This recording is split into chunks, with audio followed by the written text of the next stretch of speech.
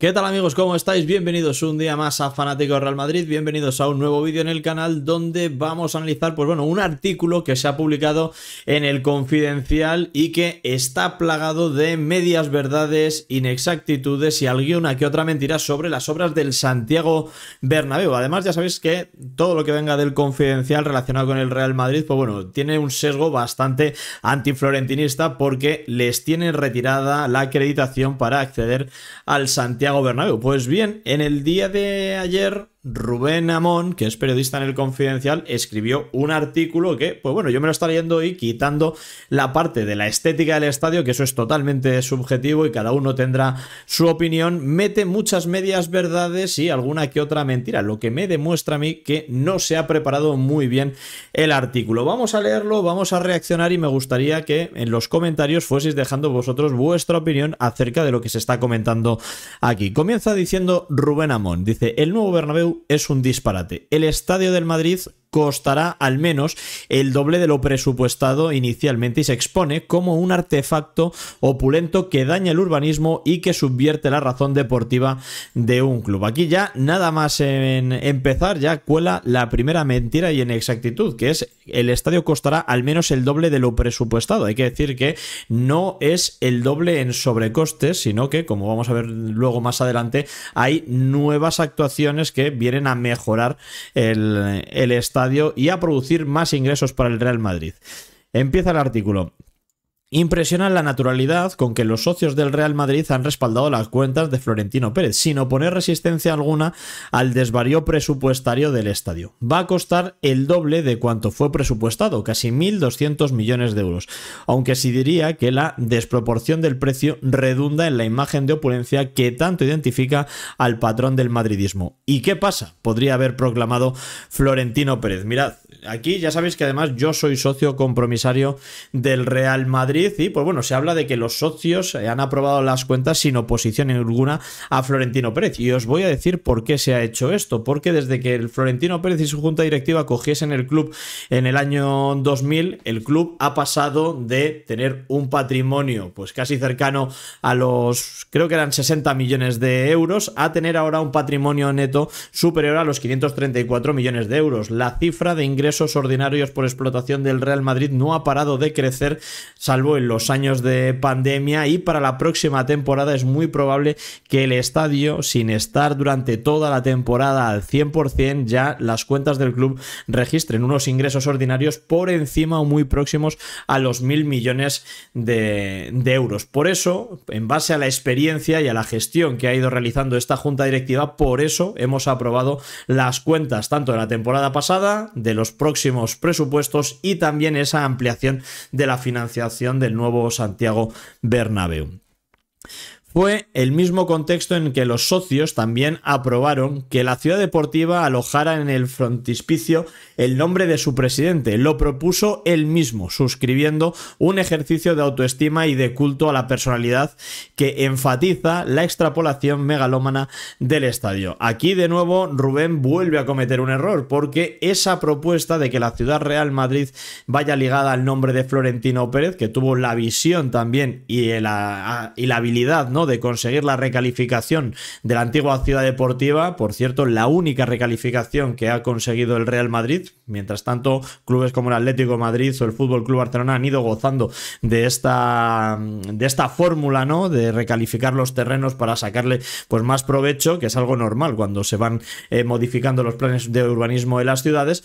Pues eh, Fútbol Club Barcelona y Atlético Madrid ya han gozado de esos favores por parte de la administración y Florentino Pérez consiguió que para la ciudad deportiva de un sitio a otro, también se recalificasen esos terrenos. Pues bien, eso, el cambiarle el nombre a la ciudad Real Madrid, que actualmente está ubicada en Valdebeba, no ha sido algo que ha propuesto Florentino Pérez, amigo Rubén. Lo hemos propuesto más de mil socios que, de acuerdo a los estatutos del club, lo presentamos en la Asamblea de Socios Compromisarios y se aprobó por aclamación popular, como fue el mismo modo para proponer, para nombrar a Pirri nuevo presidente de honor del Real Madrid. En este sentido, amigo Rubén, quiero decirte que a mí me parece muy bien cómo Florentino Pérez a lo largo de estos años ha puesto en, su sitio, ¿no? Y ha dado el homenaje que merecían leyendas del club como Di Stéfano, Gento, Amancio o ahora Pirri en el cargo de presidentes de honor. Y creo que esos homenajes hay que hacerlos en vida. Así que del mismo modo entiendo que los socios del Real Madrid debíamos hacer lo mismo con una de las figuras más influyentes de la historia del Real Madrid, ya que Florentino Pérez considero que está a la misma altura en importancia que Don Santiago Bernabéu. Dice el artículo, se va de las manos el presupuesto, igual que se ha desquiciado su impacto en la ciudad. No es que Madrid tenga un estadio, es que el estadio tiene una ciudad. Hasta el extremo de que el nuevo Bernabéu asfixia el barrio, que lo aloja y parece un leviatán entre los edificios aledaños. No cabe, queremos decir. La fachada de la castellana lo consiente lucimiento y escenario, pero el resto del proyecto se resiente del aturdimiento urbanístico. Bueno, habla aquí de que el estadio se ha comido a la ciudad y os pongo yo esta bonita imagen antigua de el Santiago Bernabéu, donde como podéis ver eh, alrededor del estadio no había prácticamente nada. O sea, y esta es una imagen ya mucho más eh, adelantada porque ahí a lo lejos ya veis también los depósitos de la zona de Plaza Castilla y demás, pero como podéis ver lo que ha hecho la ciudad ha sido crecer y engullir al Bernabéu. No ha sido el Bernabéu el que ha asfixiado a los, eh, al, barrio, ¿no? Como, como nos trata de hacer ver en el artículo Rubén. Lo que ha pasado es que la ciudad ha crecido y, pues bueno, ha, ha terminado engullendo el estadio, que estaba mucho antes. Y ya también te digo una cosa, porque imagino que hablarán del tema de los vecinos y demás. Los vecinos, cuando se mudan a esa zona, se mudan sabiendo que tienen un estadio. Un estadio que, por cierto, eleva considerablemente el valor del, barrio. Vamos a seguir más con el, con artículo. Dice, la propia factura, eh, factura estética del Bernabéu corre el peligro de quedarse antigua, un futurismo trasnochado, una vanguardia caduca y una colisión estética en la pista de aterrizaje de la nave espacial, porque no hay diálogo con la ciudad, sino un exabrupto que hubiera tenido más sentido que haberse concebido en un lugar exento, como ocurre con el metropolitano. Bueno, esto es una opinión suya personal, creo que hay que respetársela, pero viendo cómo viene el, artículo escrito, pues yo creo que, además, sabemos que Rubén es eh, reconocido antimadridista, es aficionado del Atlético de Madrid, pues bueno, me vais a perdonar que no comparta demasiado que gente que es antimadridista no se escriba y nos venga a dar lecciones de lo que es o no el estadio. Para mí, el estadio eh, va a modernizar por completo el barrio que, pues bueno, debo decirlo, los edificios que hay alrededor se construyeron en una época en la que la ciudad creció muy muy rápido y la arquitectura de esos edificios de la época de los años 70-80, a mi parecer, está bastante anticuada y desfasada con lo que debería ser una ciudad moderna en Madrid. Así que espero que las fachadas del entorno del estadio también vayan poniéndose acorde con los tiempos que, que van corriendo. Continúa el artículo, dice, tampoco me gusta el nuevo estadio del Atleti, ni fui partidario del desalojo del Calderón, pero la virtud del campo rojiblanco consiste precisamente en su definición de teatro futbolístico.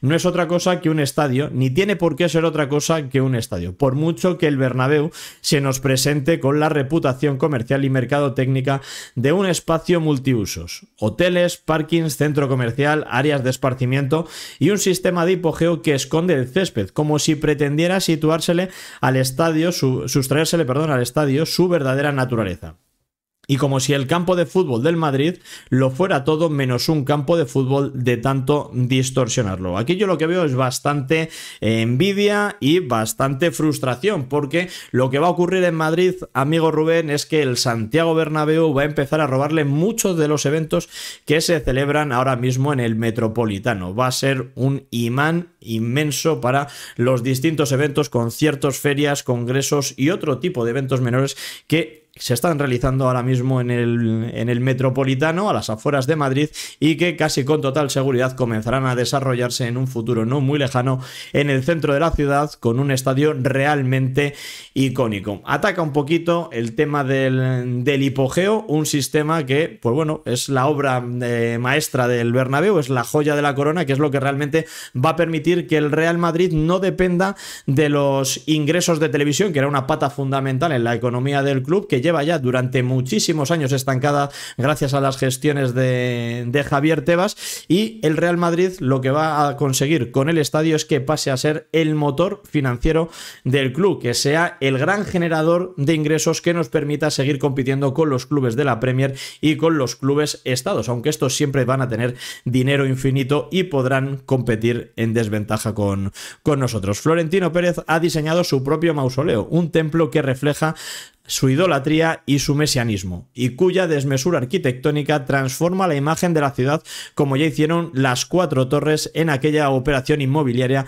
de inquietantes dimensiones políticas y urbanísticas. Aquí al amigo Rubén le molesta que el estadio se modernice y que se quede en su parcela actual. Ataca que el estadio se quede ahí, pero tampoco le parecería bien, casi con total seguridad, que el Real Madrid vendiese la parcela del Santiago Bernabéu, la parcela actual, que por cierto, ¿en cuánto valoraríais vosotros esa parcela al lado de Azca, en el corazón financiero de la ciudad, en el eje de la Castellana, con el próximo desarrollo que se va a producir en el norte de la capital de, España durante los próximos 50 años, con el desarrollo de Madrid Nuevo Norte?